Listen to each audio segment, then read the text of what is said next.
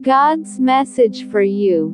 You are loving, caring and a valuable person who loves and cares everyone but you fell in love with one person very honestly and you turned down many of the marriage proposals that come for you that your parents friends sought for you but you believed that your person whom you love will never cheats you will never leave you you have always promised and did good things for your loved ones but without realizing it your person rejected you for their self selfishness they ignored you and you ask yourself why that person change why the people whom you trust change unexpectedly why bad things happen to you even though you did good to everyone even though you did good to each and every one. You ask these questions and you were crying. God says don't cry you are innocent and those who have broken your trust they are suffering they are crying for these deeds. They are selfish and they are unlucky to reject reject you but you are protected you are guided by the God you are saved by the God. Remember that God says you should not